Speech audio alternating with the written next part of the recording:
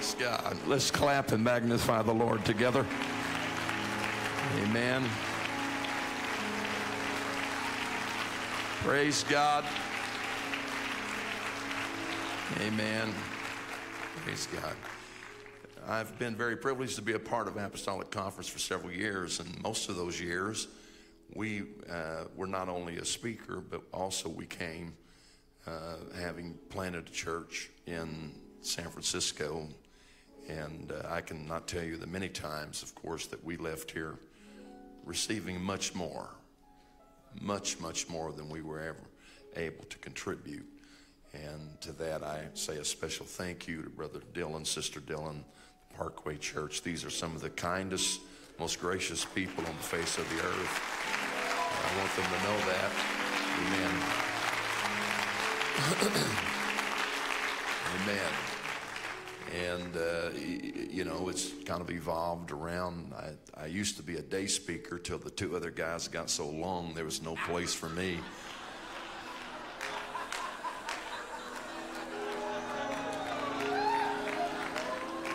So I got bumped to Friday night.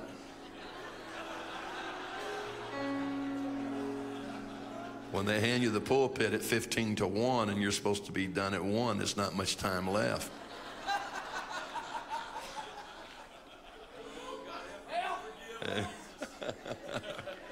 anyway, but uh, I, I, do appreciate this meeting, what it means, and thankful for a place that we can come and uh, just be apostolic.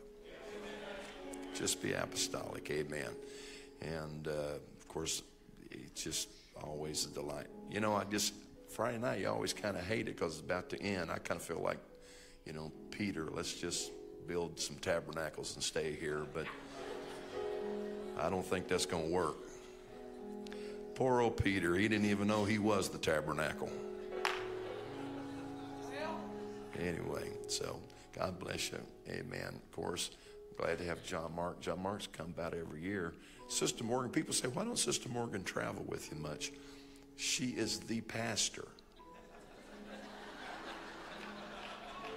of Abounding Grace. She really is. And uh, matter of fact, Brother Tenney seen me here a while back, and he said, Brother Mark, I'm going to tell you what I used to tell Brother Cole. For God's sake, don't go home and mess your wife's church up.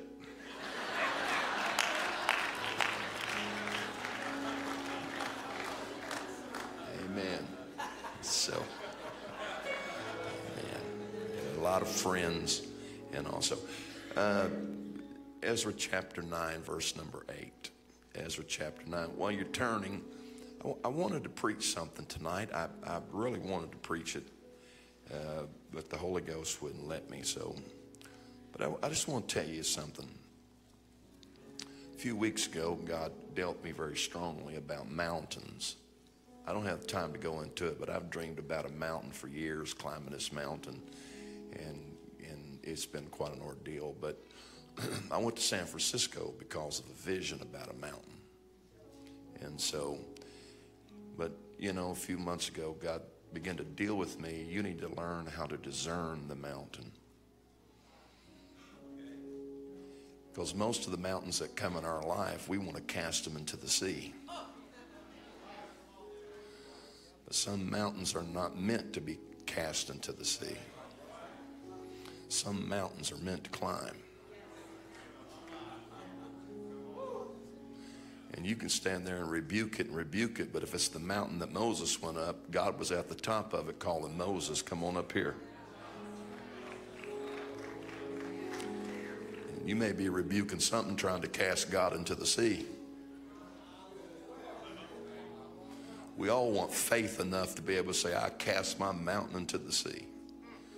Some mountains, God says, No, you're going to climb this mountain. But trust me, when you get to the top, it'll be well worth the view. So, whatever that mountain is, either cast it if that's what's supposed to be or climb it. Amen. But we're coming close to something in the Spirit. Ezra 9 and 8, now for a little space, grace hath been showed from the Lord our God to leave us a remnant to escape and to give us a nail in this holy place that our God may lighten our eyes and give us a little reviving in our bondage. And now for a little space. And now for a little space. I want to talk to you about that little space. That'd be all right? A little space. Amen. Father, I take into this service tonight, I take authority and dominion. I ask you to help me to say exactly what I'm to say, nothing more, nothing less. I pray for strength, spiritual, emotional, physical. I ask it in the name of Jesus. You're going to speak to us, and there is a prophetic anointing in this place tonight. I thank you for it in Jesus' name. and everybody said, Amen. Amen. Praise God. God bless you. You may be seated. Amen. I give honor to Brother Tipton, our superintendent. Amen. Uh, last October, I was sitting out on our balcony. Now, I know some of you, when you think balcony, think of some, but our balcony probably is about the space over there where those people are sitting. It's a big balcony, and that balcony cost me over $4,000 a month. Welcome to San Francisco.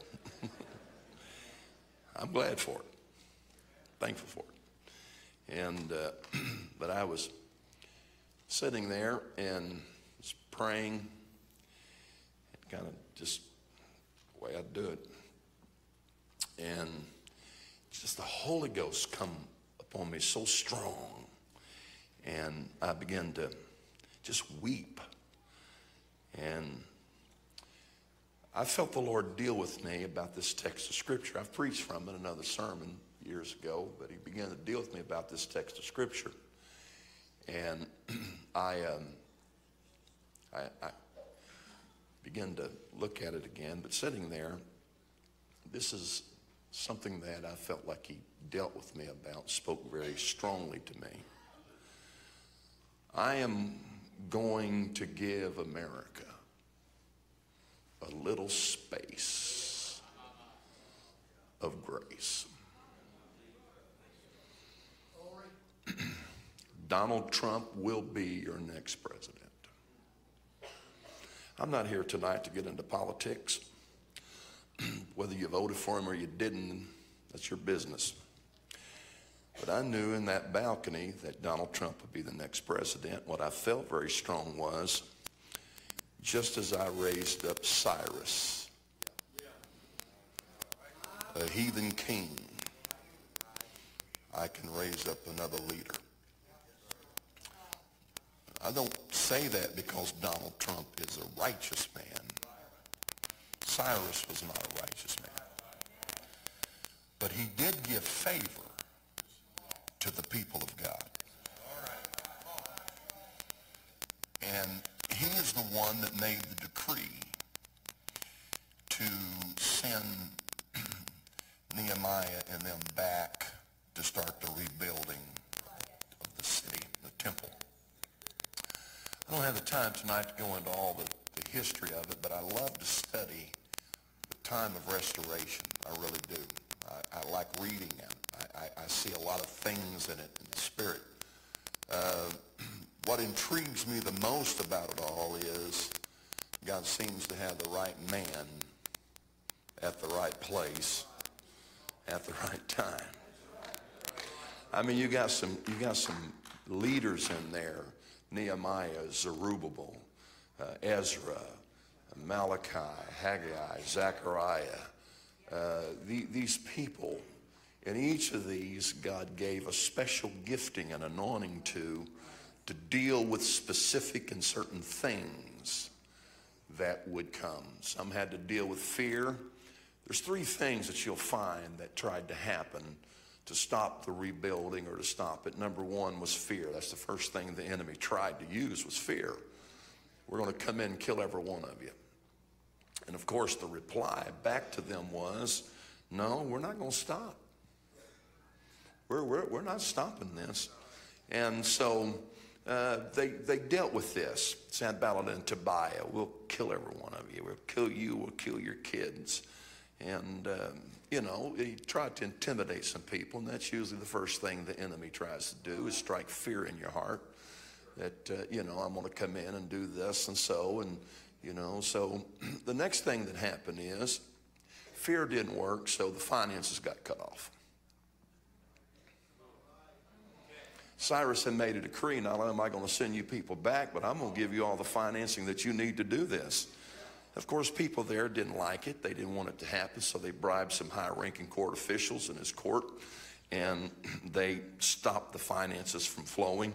And, uh, you know, so they laid the foundation to the temple. That was as far as they got. I think Brother Wright was talking about that. It is true. Jesus even said, What good is it to lay a foundation if you don't have sufficient to finish it?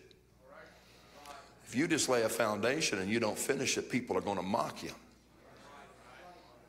Amen. So God never intended for us to just keep shouting about a foundation. oh boy. I closed a revival one time. I, I, need to be careful. They may be here tonight. I don't know. I closed a revival one time because everybody there, I mean, they, you know, we want a revival. When you tell me you want a revival, okay, we're going, let's have a revival. But, you know, I'm not just coming in to preach. I'm, we're going to have a revival. And so I went there, and everybody there, uh, all they want to do is come up and tell me. I prayed through back in 19 something on the verbal beam. And there's nobody in this building that has any more respect for the memory of verbal beam than I do. Matter of fact, his granddaughter's here tonight. But the fact is, is that's all they wanted to talk about. In the, when verbal beam was here in our revival, when verbal beam was here, and so that Sunday morning, I didn't even tell the pastor. Now, this is not how you're supposed to evangelize. I didn't even tell the pastor. I just got up and said, This is my last service. They'd scheduled me for weeks. I said, This is my last service. I said, I refuse to preach in a church that all you want to do is just shout about a foundation. I said, I'm glad for all the stuff that happened back 1960 something, 1970 something, but you ain't done nothing since then.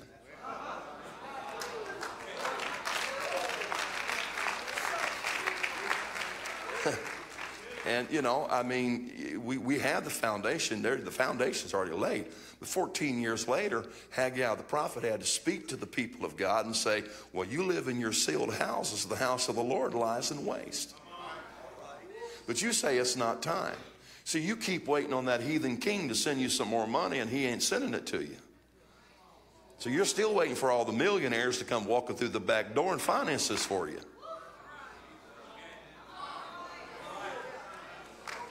Haggai said, I tell you what God wants. God said, Why don't you go cut some timber yourself and just come down here and show him you're serious about doing this? That's what he was trying to talk about, Brother Shelton, a while ago about sowing. We sit here and wait for the, all the millionaires to show up, but God said, No, I want you to go cut some timber. You bring your offering down here and let me see what you're going to do, and I'll shake the heavens and the earth. All the gold is mine, and all the silk, boy, it locked up right there. All the gold is mine and all the silver is mine, saith the Lord. And if we'll just show God we're serious about finishing what another generation started, I promise you the finances will start to flow and the blessings of God will come. And that's where we're headed with this thing. Well, some of you are looking at me really funny right now. And so that didn't work. And so, you know, so they, the finances. So here's what happened real quickly. Here's what who threw that up here? Oh, I, I think I lost my job too.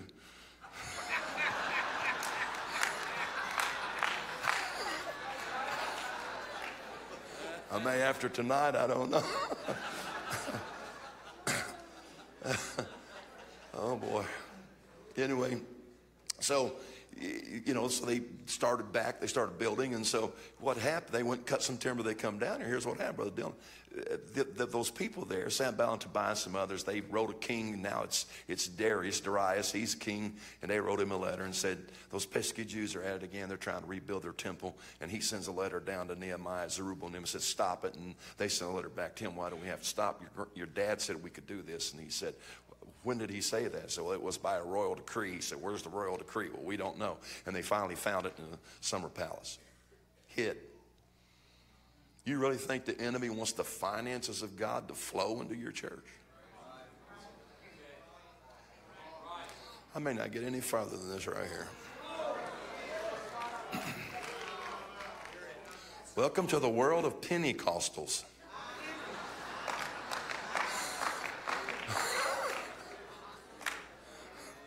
Pentecostals.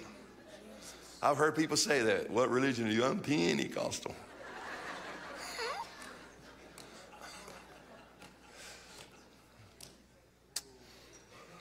I'll get to it. So they, he, he said, so he writes, he has, he calls for Ezra and says, actually called for Ezra, said, write this letter. And so he starts to write this letter, and they sent it, and the letter said, Whoever I find not honoring the decree of Cyrus, I'm going to tear your house down, hang you on the timbers of it, and make it a dung heap. Now, the only thing I ask from those one God people is pray for the king and his sons. Now, you people get the finances down there, but it didn't start until they sold. Now, if you think that God's just going to bring it in without you sowing and showing Him that you're serious, and there, I'm, listen to me. I'm not here to preach about money tonight. I never, but here we are. But the deal is, is we, we are deceiving ourselves if we think we're going to have a revival, an apostolic revival outside of sacrificial giving. There is no such thing.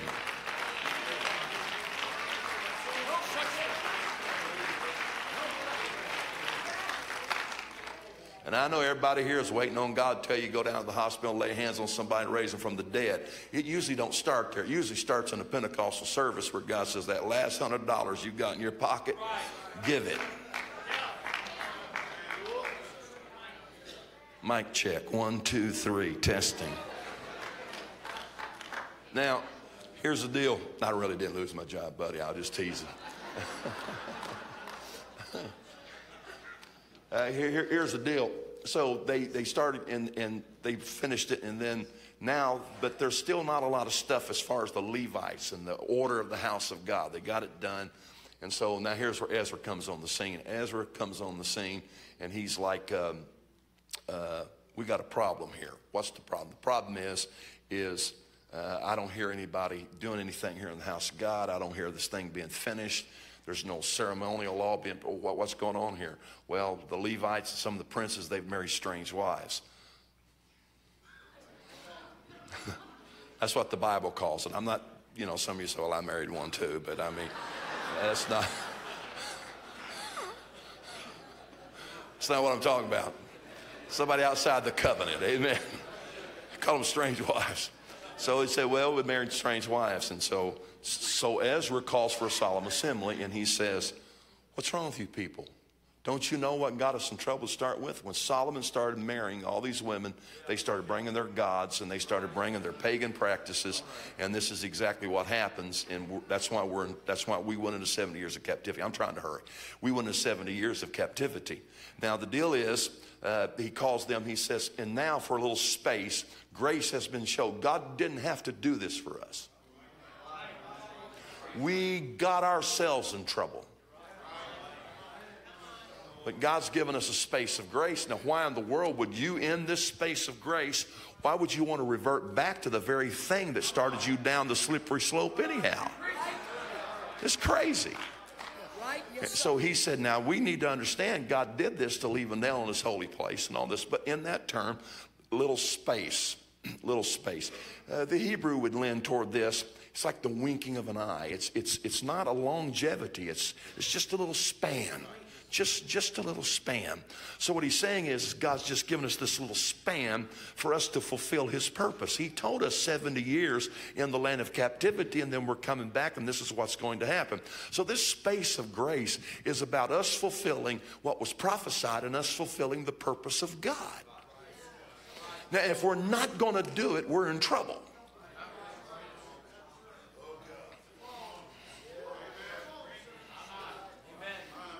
That's the only reason why God has, I'm telling you, I feel a very strong prophetic anointing on me right now. This, he said, that's the only reason God has given you this space of grace. Now, I want, I, want to, I want you to remember that because I'm going to tell you a story. I'm not here to impress you with people I know or don't know and all. Some of that stuff gets old to me after a while. But it just, I was not that close to Tom Barnes. Toward the end of his life, he took an interest in me, and, and it was some wonderful experiences that I had and some great things that happened. But I, I, was invited to come. Matter of fact, you were there. It's when you men were holding that young minister's deal there, Brother Barnes. And so it's the first time I'd ever really been around Brother Barnes or his church. And so he, he, wanted to, he wanted to talk. So he said, I want, you, I want you to come over before the session in the morning. So it was about 7 o'clock. And I'm thinking in the morning, I'm like, oh my God, Brother Barnes, I'm on California time. It's 5 o'clock in California. Uh, I know all you guys that pray early in the morning. I'm telling you, man, I don't know if the Lord's even up at 5 o'clock in the morning sometimes. That's all I'm going to say, or I'll be in the morning at 5 o'clock. I'll be waking up like God said, I'm here. You want to talk? And I'm kind of like, can you come back later? Somebody needs to take the evening shift. I volunteer for the evening shift here. I'm being careful. And so, uh, so I went over and met with him, and I was, I was just shocked. I was shocked by the whole scenario. I mean, I was, I was, you know, man, this is the world famous Tom Barnes. I went in that office and I was like, my God, man, this is the drabbiest office I've ever been in my life. It's just panel, you know. I mean, those of you that have been in there, and, and he had an old desk over there, kind of up against the corner, and had that little wooden rocking chair, and he'd be rocking back and forth and, and, and on. Sit down, boy. And I sat down on this couch. When I sat down, I mean, it just sunk way down in the middle. I almost had to had the crane just to get off that couch. And I was sitting there, and, and he said, I want to talk to you, boy. And I was just like, okay. And he just starts what I thought was rambling. He's talking about America. I'm sorry, Got a Canadian here tonight. and he just starts talking about America. And uh, I'm like, you got to be kidding me. This is the world famous Tom Barnes. I'm in this office. It's 7 o'clock in the morning, and you want to talk about America? Got to be kidding me. And so he gets talking about America, and, and he kept saying this she's the new kid on the block. I, will never forget. Oh, he, she's a new kid on the block. Finally, he said, You know, America's only 200 something years old.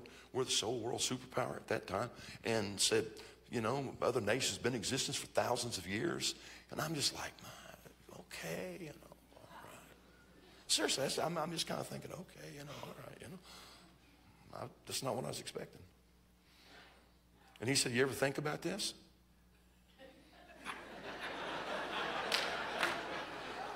Now, I'm going to tell you, you can lie to a lot of preachers, but not a prophet.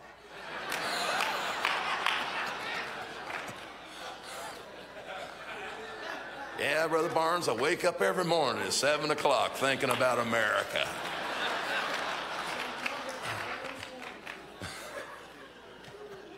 Good morning, America. So I said, Well, no, sir. I said, no. well, you should. I should. It's got a lot to do with you and your generation. I said, What do you mean? He said, Do you even know why America exists? I said, You know, it's one of those questions. You don't have the answer. They've already got the answer, so don't even attempt to answer the question.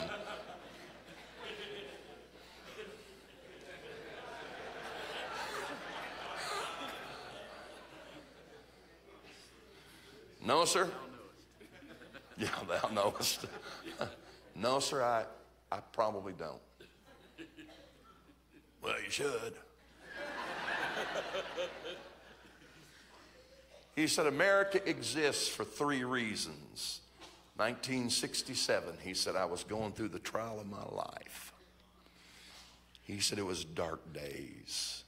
He said, every day I'd drag myself to the mirror and I'd look in the mirror And I would say these words Tom Barnes, you're going to live and not die.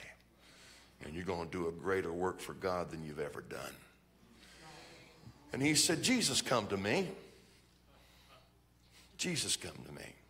So he appeared and said, Tom Barnes, I've raised you up to intercede for the nation of Israel. And then he said, he spoke to me and told me the three reasons that America exists. He said, now he didn't say anything about my problem. He didn't say anything about my trial. He just said, this is what I've raised you up to do, and he left. He said, but I can tell you the moment I started doing what he called me to do is the day I started coming out of that darkness. Hmm.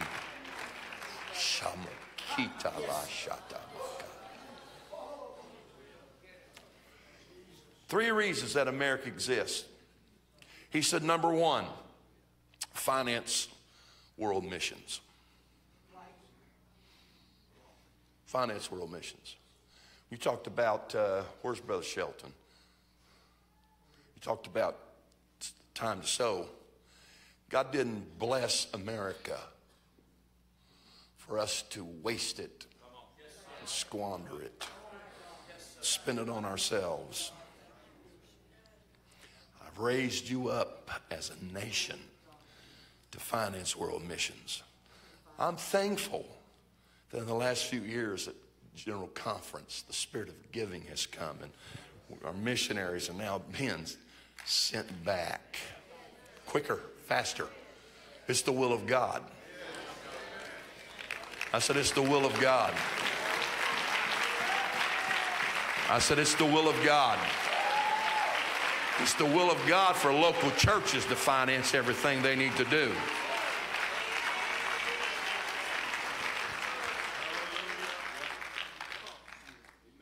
I want to say that again. It's the will of God for local churches to say that man has a burden and a mission, and we're going to finance the whole thing.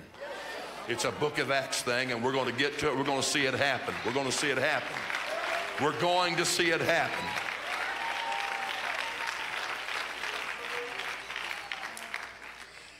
I am convinced that there will be an unprecedented spirit of giving that sweeps into the Apostolic Church of North America. I am convinced that we're already entering into it. Are you hearing me here tonight? I am convinced, as much as I'm standing here holding this microphone right now, that when this begins and as it begins to continue, there'll be unprecedented finances that begin to flow into our churches. Because we got heathen kings and heathen people out here that God said, I'll move on them when I see you cut your timber and bring it to the house of God and sow it like you're supposed to sow it. I'll give you the hidden treasures of darkness. I'm not speaking that just to inspire you. I'm telling you that I believe that. If you cut me, I believe that right now. The second thing he said is God has raised up America to befriend and to protect Israel. Now, I'm telling you, when America was trending a few months ago toward becoming more anti Israel, I was starting to get a little nervous. Are you listening to me? I said, I was starting to get a little nervous. Because I'm going to tell you about Israel. I'm going to tell you about that land over there. It's about a covenant that God made with them, an everlasting covenant. And He told Abraham, I'm going to give you this territory right here. And all that fighting and all that stuff to drive them out is about trying to make God a liar. Are you listening to me? I said, it's trying to make God a liar that he doesn't keep his word. But God said, Abraham, here's the boundaries of it. See that? See that? There and there? That belongs to you. It's an everlasting covenant, and I'm going to give it to you and your seed. That's how come they want to take it. That's how come they want to drive it away. But I got news for you. God's going to let them go so far, and He's going to say, I'm coming back to fight. You're going to remember this little battle because that I gave to them, and it's a covenant that I don't intend. Matter of fact, I took an oath at that place. I cannot lie.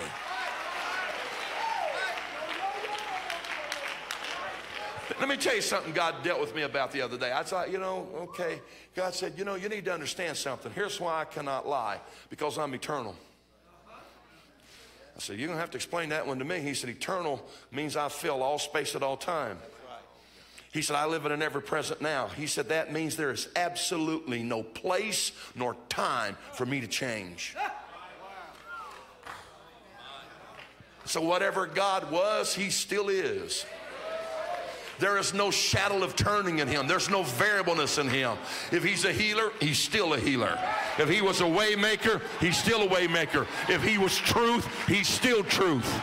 If he's holiness, he's still holy. Are you listening? There's no place for him to change. There is no time for him to change. Praise God. In the road, you think he told him, stand still? Get out of your world and come into mine. I don't change. Get over here. You're too busy trying to work it all out. Get over here. Why do you think the New Testament says, stand? Just stand. Get in that and stand in the fact that God's eternal and he cannot change. So God told you something. He doesn't lie. He didn't change his mind. Now, you may think he changes his mind, but he doesn't change his mind. Or he doesn't change the fact of what he's declared. You with me here? All right, now let's let's let's get on. Here's here's where we're going. We're going to protect and befriend Israel. Okay. Third thing he said is God's raised up America to give it a military power that is strong enough to stop men and nations that are full of the Antichrist before his time. I said, okay. Now I want to tell you what he concluded with before I go back to that one. He said, anything that will not fulfill its creative purpose has absolutely no reason to exist. He said, it doesn't matter if it's a man, a family, a ministry, or an organization, or a nation. It doesn't matter if it will not fulfill what's created, created to do for purpose. It has no reason to exist. So if you're still here, that means God's got a purpose you're still existing, that means God's still got a purpose. So, now, I want to say this, and I want to be careful because I, I, said it here a while back somewhere else. I was informed I offended some people.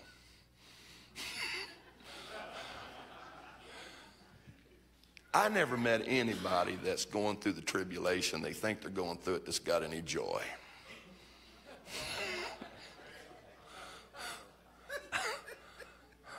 I mean, what you got to look forward to?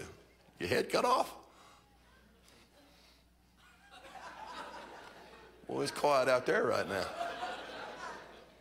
I just, you know, I said, okay, I want to ask, I want to go back and ask you a question. You said that God's raised up America and given it a military power to stop men and nations that are full of the Antichrist before his time. That's exactly right. I said, then I want to ask you this question.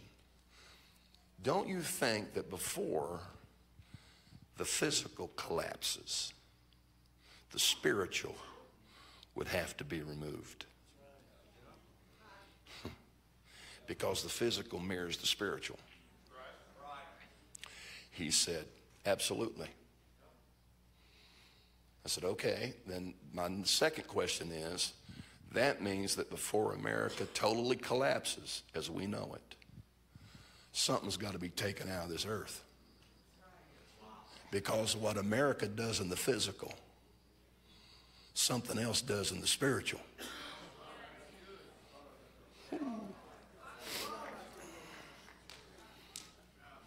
Folks, I'm telling you. He said, That's exactly right. He said, You know what that means? I said, I, I think I do.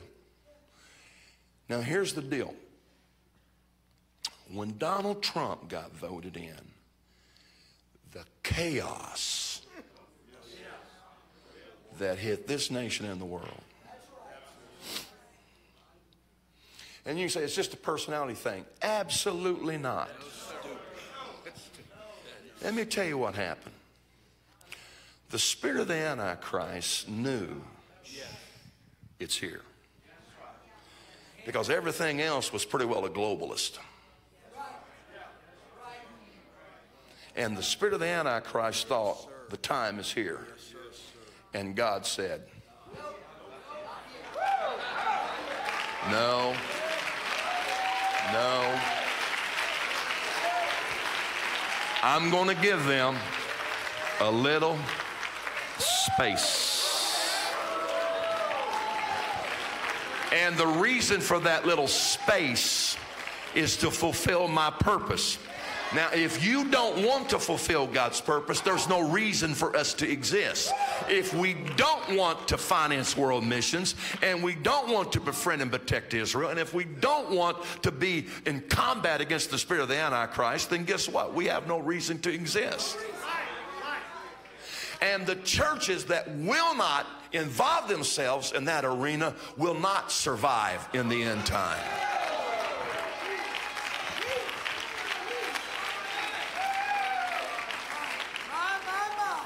Now, now I want you to listen.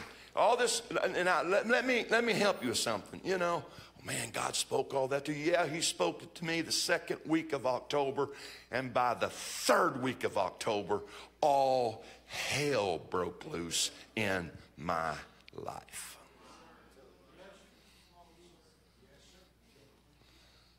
God, what in the world? Son, you are already engaged with the spirit of the Antichrist. He's at war with you now. Now, that's going to strike some of you a little strange, but a few years ago, Gwen Porche in Lake Charles, Louisiana, comes. She said, Brother Morgan, God gave me a, is either dream or vision, and I seen a table, and at that table, my gosh, at that table, I seen the Antichrist and his cabinet. She said, but his cabinet were like people that represented nations. And said, sitting across from him, I seen some preachers. And she named a couple of them. And she said, You were directly across from the Antichrist. And she said, The Antichrist was very smug, he was very confident. So they were very arrogant, full of pride. And said the preachers that were there were perplexed, like they were confused and a little dazed. And she said, But all of a sudden, I seen the hand of God come out of heaven and it stretched papers across that table. And I looked at those papers and I could see it was a military strategies and it was a way to war. And she said they began to read, the preachers began to read it. And when they did, I could see their heads coming up and a confidence began to come and faith began to fill them. She said, but the problem was there were some empty chairs where preachers should have been sitting. So there is a prepared table, but there are some empty chairs.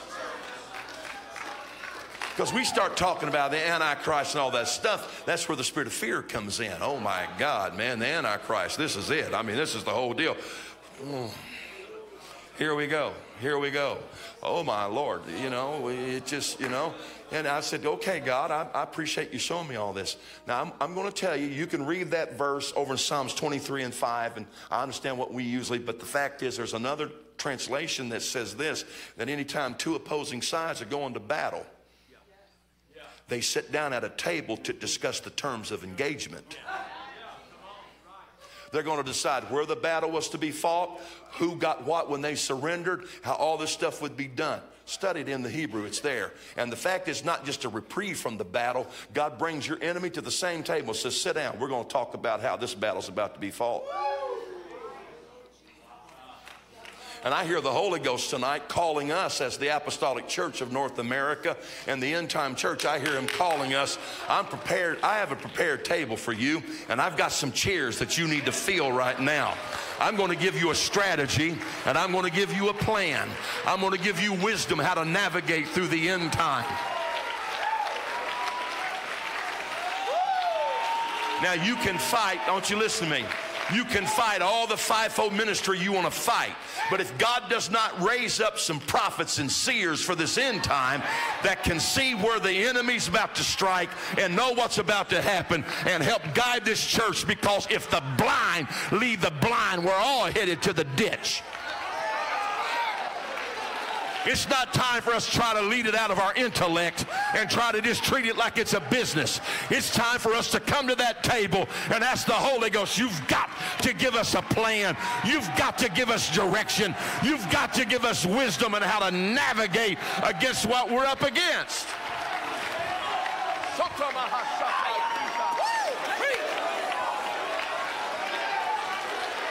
You really think you can go back and, well,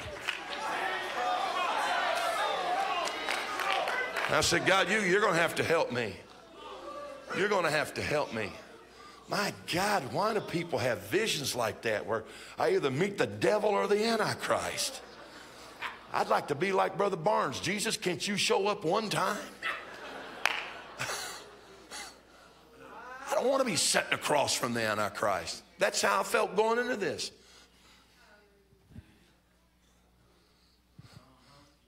God, you got to be kidding me. I just want to be left alone. That's about most of us. I want to be left alone. Let's just have a Cold War.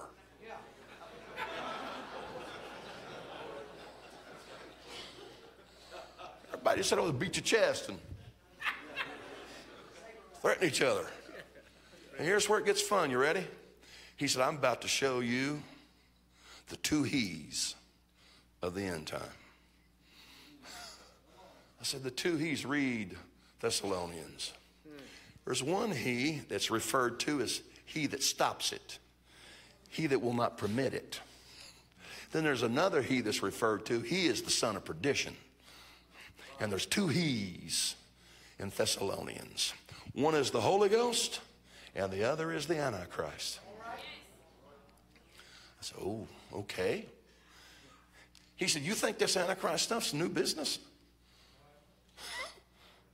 No, John said in his, his, his epistle, already the spirit of the Antichrist doth work. It's already at work. You know, let me tell you one of the things that's Antichrist. You ready for? I study this this afternoon. You me tell you, uh, that there's no preaching against sin anymore, that you can just live for God and keep sinning. That is the spirit of the Antichrist. Some of you got a spirit of Antichrist in your church. Now, he ain't come with 666 to put in your forehead yet, but that's the spirit of the Antichrist. You continue in sin. Okay, but here's the deal. So I said, okay, but watch this, watch this, watch this, watch this, watch this. For spirit of the Antichrist authority work. But, watch it. Greater is he that is in you than he that is in the world. There's your two he's. You need a revelation on which one's greater. What I put in you is greater. That's why I got to get it out of here. It's greater than the spirit of the Antichrist.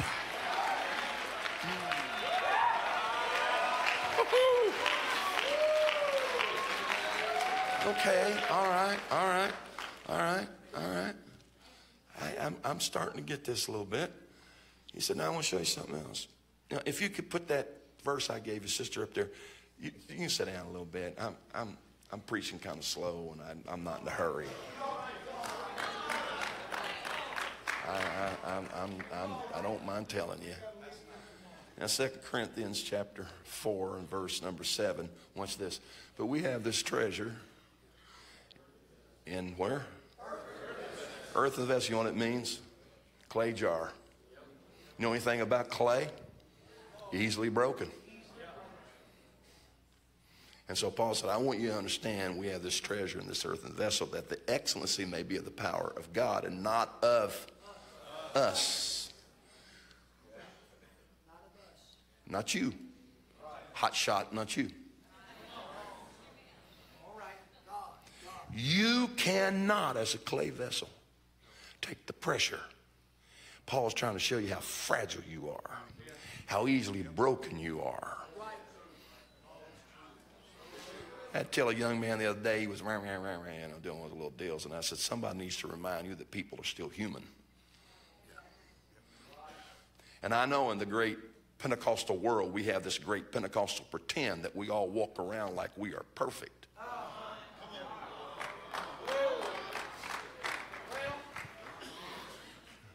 And we learn to create images. It's like the Wizard of Oz. Yeah. People get behind the curtain, they're like, whoa. it's not what you portrayed yourself as. I'm sorry, I may have offended some of you and don't even know who the Wizard of Oz is. Maybe, I don't know. but we have this great Pentecost pretend, and we we, we don't want people to realize we're human, we're frail.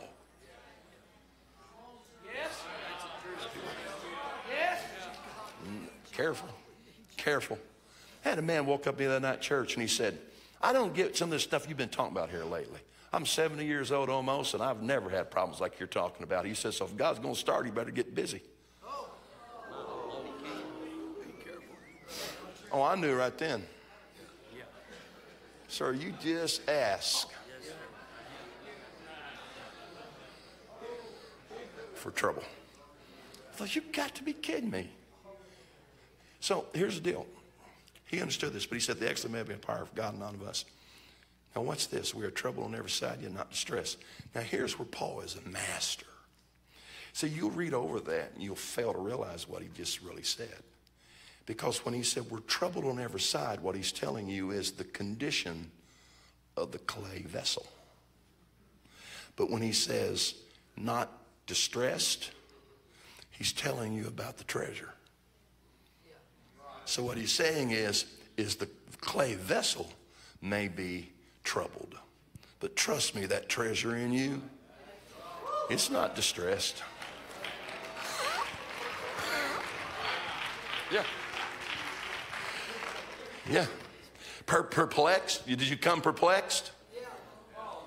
You may be perplexed, but that, that treasure in you, it's not, where's it at? It's not in despair. Persecuted, that's the clay vessel. But that in you is not forsaken. You may be cast down, but that treasure in you, it's not destroyed. How you destroy the Holy Ghost? How do you destroy God? You're going to have to learn how to let the treasure in you do what it was created to do. They've been pounding this on you all week. I said, they've been pounding this. He said, okay, son, now you need to learn how to destroy the Antichrist in your life just like I'm going to destroy him. Well, how's that? He said, read Thessalonians some more. So I read down through this, said, and by the spirit of his mouth and by the brightness of his glory. And he said, now don't misunderstand what it means by the spirit of his mouth. That don't mean you just learn to quote some scripture. I've heard the devil quote scripture. I was casting the devil out of a man one time, and he was quoting scriptures. I was casting the devil out of him. Yeah, he was. he knows the word. He said, It's the spirit of your mouth. He said, That's more than just you quoting some scripture. I said, Okay, God, help me. He said, I gave you a treasure. I put something in you to help you. I put something in you that's greater than the pressure that you feel. You're going to have to learn how to let it work. It's been quoted a hundred times this week. I'm going to quote it one more time. For likewise, the Spirit also helpeth our infirmities. You cannot pray with any more power or any more authority. And I'm not talking about the dainty tongue of edification that you've learned. I'm not talking about you getting in prayer and rattling off those few little words that you've, whatever. Uh, that's not what I'm talking about. That's a tongue of edification. That just kind of helps you, build you up a little bit. I'm talking about where that's something in you that says, I'm the treasure that God gave you, and that clay vessel of yours cannot take what it's going through if you don't let me do what I'm supposed to do. And, brother, all of a sudden, when you get into that dimension, the Holy Ghost said, I just need to brawl your vocal cords. Why don't you get out of the way? I can pray the perfect prayer. I can pray with perfect righteousness. I pray with perfect faith. You can't do that. You don't even know what you're fighting sometimes. You're about to crack up. You're about to lose your mind. You are so perplexed. Why don't you learn how to let what I put in you? Come on, Pentecostals. It's more than just a little jibber jabbering tongues. God said, I'm going to leave that here until it's time for him to take over. Hallelujah. Hallelujah. mm.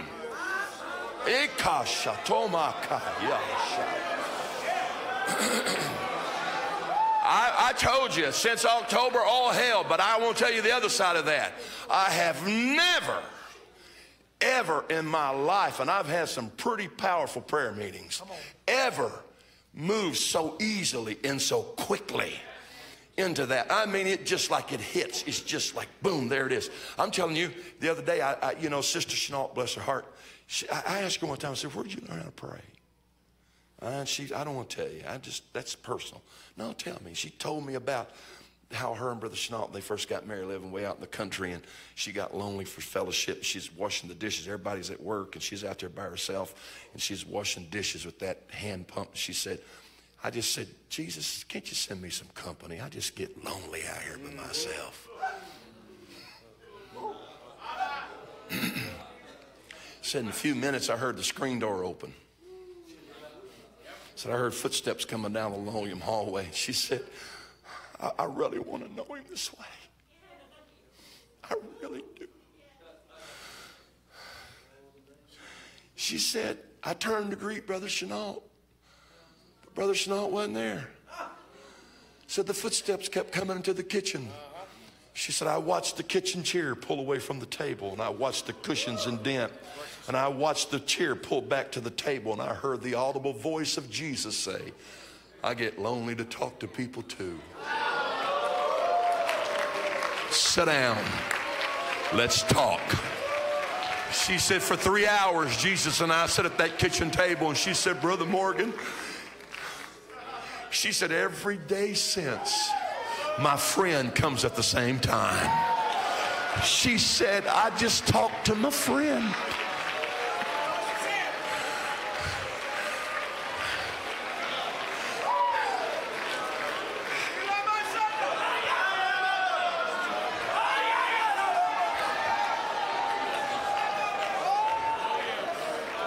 See, that's what he wants to be to all of us. I want to help you. What it, likewise, the Spirit also helpeth helpeth. The very help that God's trying to give you, you push it away. You squelch it down. You push it aside. That's a little extremist, fanatical. No, it's not. It is the power of God in you. It is the excellency of His power. And it says, let me do what I'm supposed to do.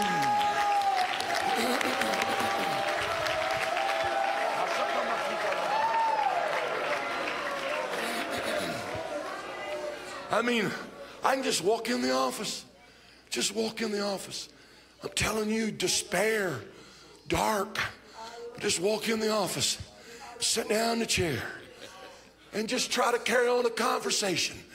And then all of a sudden, just tears. Just, I oh my God. I didn't know I had so much tears. Tears, and then just this this tongue, it just it just comes out and it's just it's just there. The other night I was at the office and it was kind of semi-dark in there. And, and I, I, I said, okay, if you did it for Marilyn, you'll do it for me. And I told him, I'm sorry, guys, I have a confession. I pulled, I sat in the chair there at the conference table and I pulled one of those chairs around in front of me. And I said, I need you just to sit here and let me talk to you. And I felt him. And here's what I told him I know I'm supposed to have a lot of faith. I know that. I know I'm supposed to be courageous. I know that. I know I'm supposed to be confessing all this stuff. I know that. But I need to tell you, I'm afraid. I'm fearful. I don't know what's about to happen. I just need you to help me. I'm not asking you to put this mountain in the sea. I'm Just asking you to give me the grace to climb to the top. That's all I'm asking. Just I need some help here. I just need a little help here. And it wasn't just explosive, but here it come. It's just like something in my spirit just, here it come and just Next thing I knew, I just had my head back and I felt the peace of God. It didn't, he didn't take me out of the stress. He didn't take me out of the stuff, but just felt the peace of God. There it was. There it was. Now, hang on, hang on. I need to finish something. There it was. It just, I know we, we, we think we have to be superhumans. I know we have to put on this great image and pretend sometimes. When that clay vessel is under so much pressure, you think, I'm about to crack up. Now, I know some of you don't have any idea. I realize you live in a world I don't live in.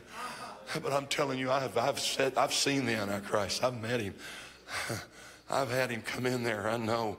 You want to talk about the spirit of the Antichrist come to San Francisco. And I don't need none of your stupid jokes. I get sick of hearing it. You know, just stupid stuff.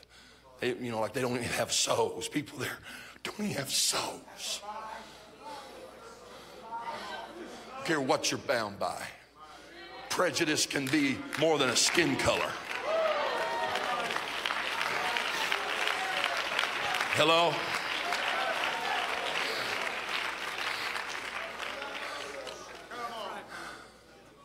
Just, we, we fight it there. We fight it. It's all through Europe. It's all through Europe right now. No doubt you fight it. It's, it's just it's so anti, just anything Christ, because anti-Christ, anti-against, opposing Christ. Christos anointed one. Watch me, anointed one, anointed ones, anointed flesh. Isn't it amazing? The book of Acts is the acts of the anointed ones. So it's not just that it's anti-Jesus Christ, it's anti anything that's anointed flesh. And you're his target. He wants to wear you out in your mind. Read the book of Daniel. He wants to wear you out in your mind. But that's something in you says, I want to help you. Let me go. I want to help you. Now, I want you to listen. Here's what I feel to close with tonight. Some of you come and you've, you've been already so inspired, helped so much. But here's the deal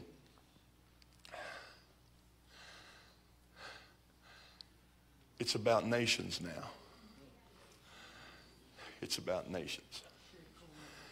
And there are, it's about cities.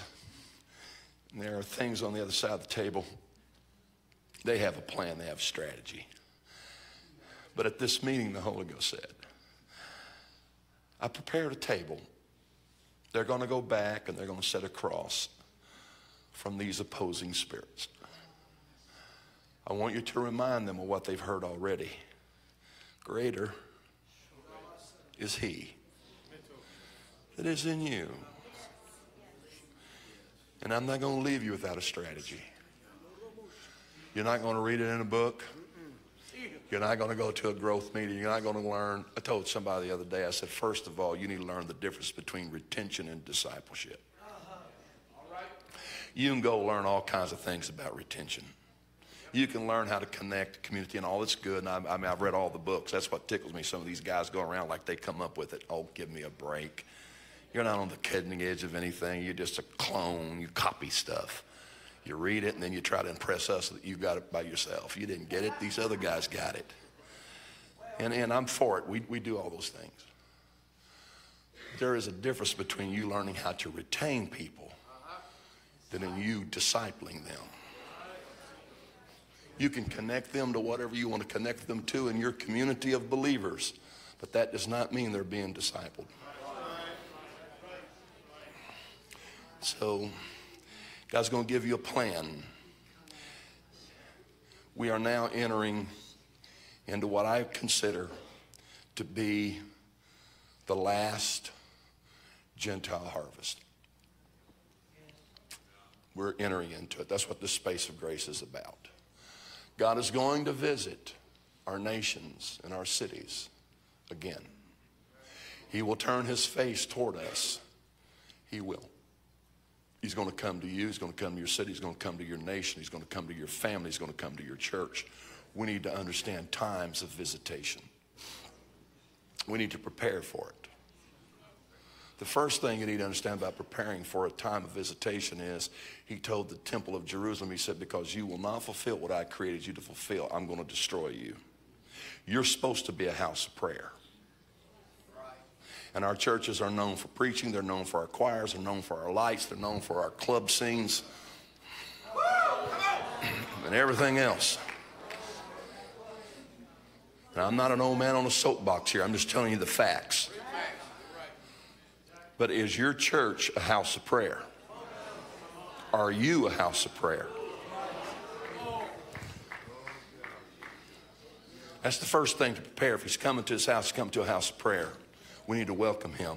He's coming into these nations. He's going to give us a plan for the end time on how to take nations. It's already started.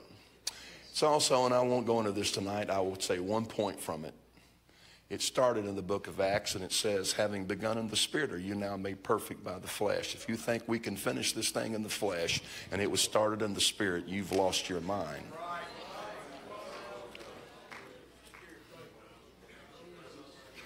Mm. The other thing is, in that first revival there in Jerusalem, now please don't misunderstand me. I think everybody knows that I believe in the power of God and demonstration, miracle signs, and wonders. I've given my life to it. But that was not the thing that got the attention of Jerusalem. It was when they seen those people loving each other. And they knew they're acting like him. And when we responded a while ago out of love, Yes, sir. see, the world don't understand that. They don't understand that kind of stuff.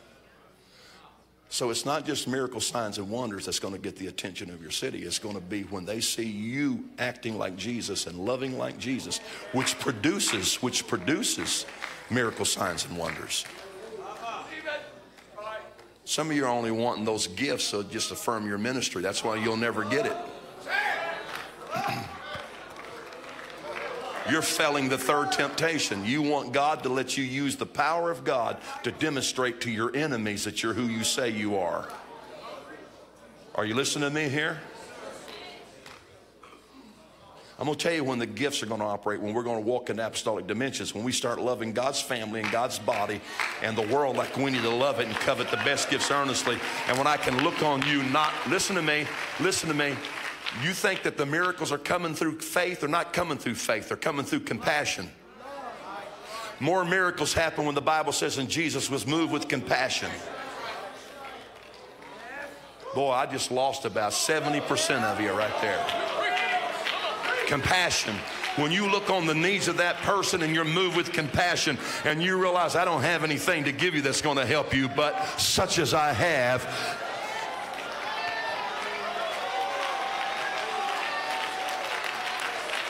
You want miracles to start happening? Start loving like you ought to love. Get connected back to Jesus and start loving like you ought to love.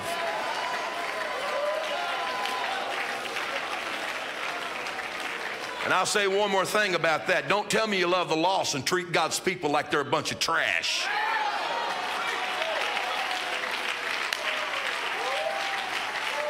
You can't decide which to love and not to love. I love the lost, but I don't love God's people. Don't work that way.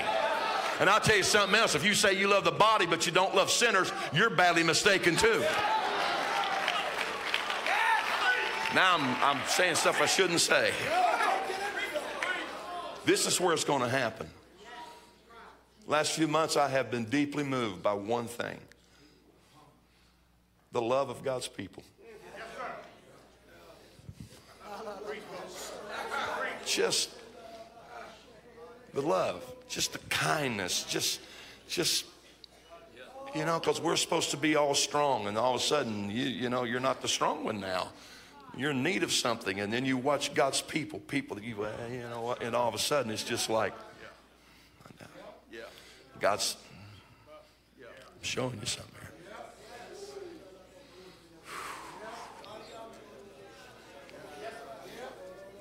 here. It's here. It's here right now. You, it's going to happen. Just get ready. So, here we are. And this is what it says. And great grace was upon them all. So when God showed that to me, he said, great, what it meant, grace is charisma, it means a gift.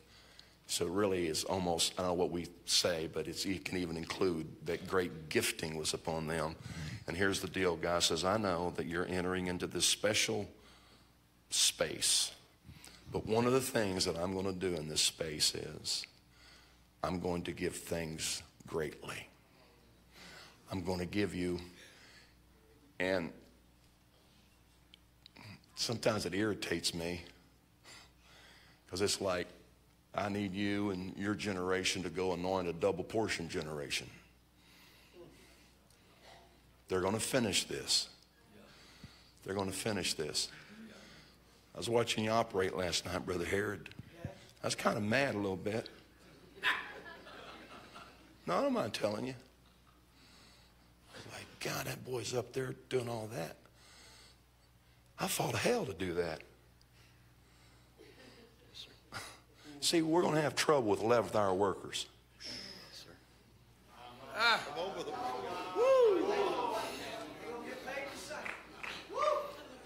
They're not going to have to pay and work as much as you did to get it. I, am messing with some of you right now, and I realize that. And I'm kind of looking at like they're coming. I'm like, my God, man, I fought the devil, the beast of Ephesus, half the organization.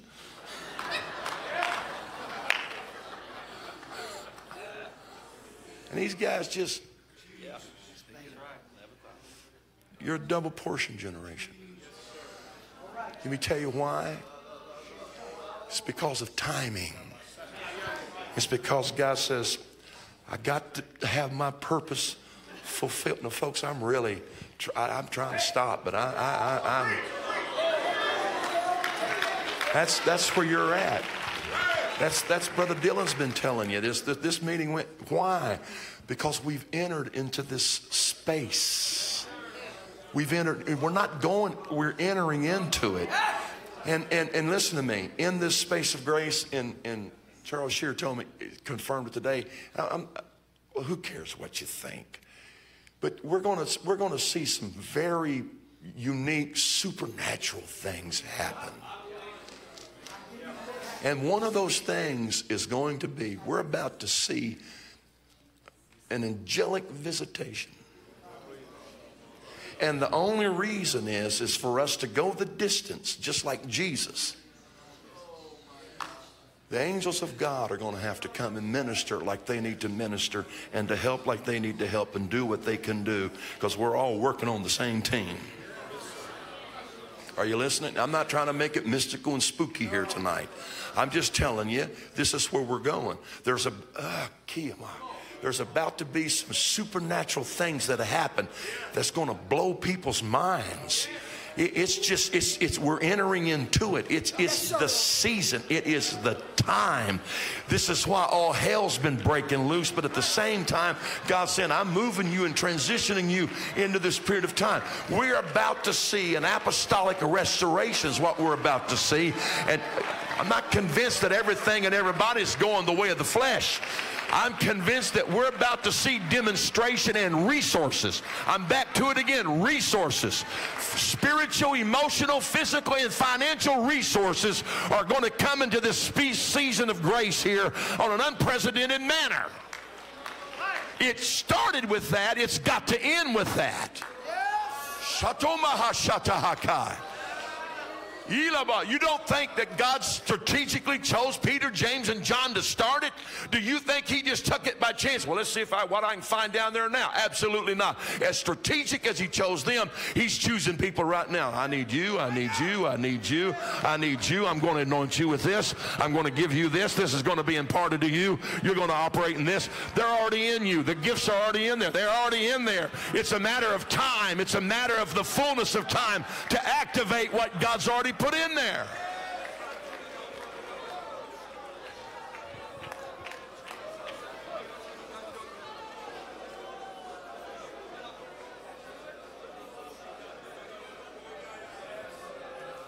No, no, no, no. Just listen, just listen. Hang on, hang on, hang on, hang on, hang on, hang on. Now, I, I waited to really know if I'm supposed to do this or not, and I, I'm going, I'm going, I'm going to do it. Here's our battle.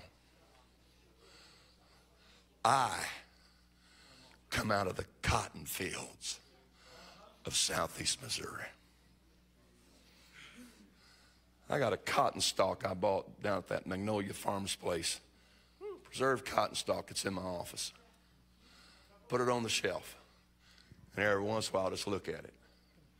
My dad was a cotton picker. My grandpa was a sharecropper. We were poor. We really were. We were poor people.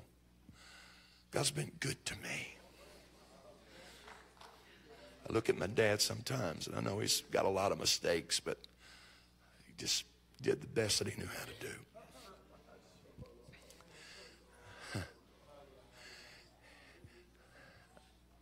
I won't tell you the first part of it. I, I was preaching for Brother Shatwell. And uh, I've, I've wrestled with just, God, you got to be kidding. Me? You got to be kidding me. Me. Yeah. So I was preaching for the chat when I was over the sanctuary praying on again. I used to love to pray in that sanctuary. I was praying one day and the Holy Ghost spoke some things to me, Brother Wright. It was so far out there for me. You will do this, you will do this, and you will do this. And you remember in that day, Moses was not in the court of Pharaoh. Pharaoh was in my court. When you stand before them, you remember that. And I was sobbing.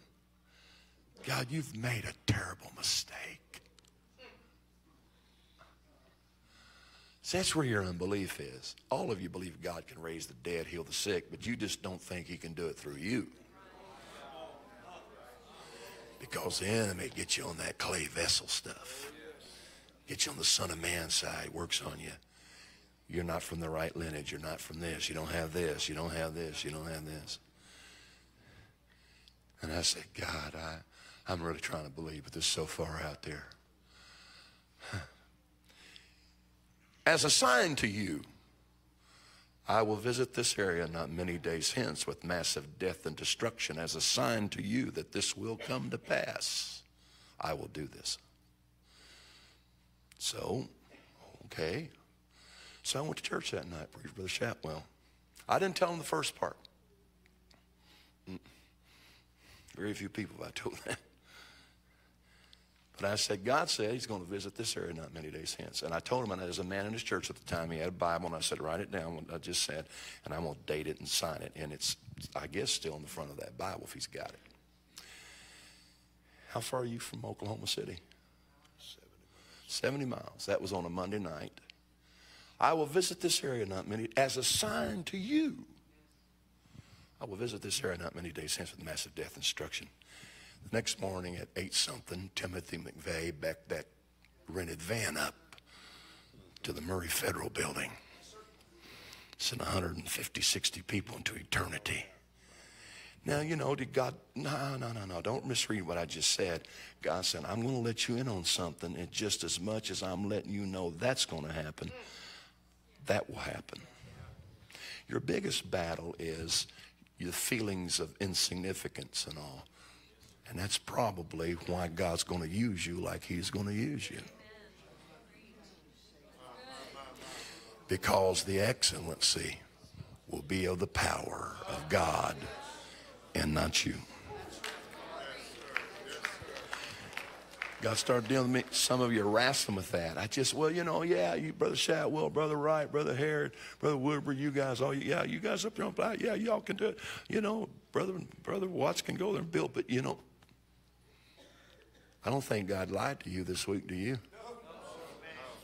So God intends to send you back into a space of grace with unprecedented anointing and finances and resources and the blessing of God. Because He said, I called you to finish this thing, and I'm depending on you to finish it. I want to bless you so you can finance world missions. I want to give to you so you can finance home missionaries. I want not not not not for any other reason. I want to do this for you. I heard this man last night talk about the kingdom. I'll never forget. I'll never forget the first time I heard it. A man walked up and said, I feel to tell you something. The Holy Ghost said, What? He said, God's going to raise up people in the end time, and they're called kingdom millionaires. They are millionaires only for the kingdom, and God's going to raise them up. Now, folks, I'm talking to some of you here right now. You may be so broke you can't even pay attention. I don't mean badly bent, I mean broke. And when I said that, you're like, well, how can I do that? I mean, how could that be? But I'm going to tell you something. It's not about you, it's about the fact that God says, I just need a conduit. I need a pipeline. I just need something that can flow through. I just need somebody to sit there and say, look what I did and get all greedy and clutchy. I need somebody to sit there and say, this is the blessing of God. And I'm going to finance a home missionary. I'm going to finance a home missionary. As a matter of fact, I'm going to finance them out of my church. I'm going to finance them to go to the next city. I'm going to finance them to go across town. You want God to start blessing your congregation? Take your hands off of it. Send them. If you don't send them, they may start persecution in your church. You can either be an Antioch church or you can be a Jerusalem church. The only way to get them out of Jerusalem is persecution. The way he got them out of Antioch is in a prayer meeting. And the same man that caused persecution in Jerusalem is the one they sent out of Antioch. He was Saul over there, but became Paul. And if you don't let them go when God says go, they're going to start persecution in your church, and you're not going to like what they're about to do. Sometimes it's easier to let go of money than it is to let go of people. My God, you can't ask for any two better than Paul and Barnabas. The best that Antioch had. God said, send them. And then they come, oh God, I've messed this service up so bad. How, how in the world, listen to me, listen. I cannot, with a good conscience, drive through the Bay Area. Eight million people. City after city after city that does not have a church. And me worry about the crowd I'm going to preach to on a Sunday afternoon. Because I'm afraid to send them.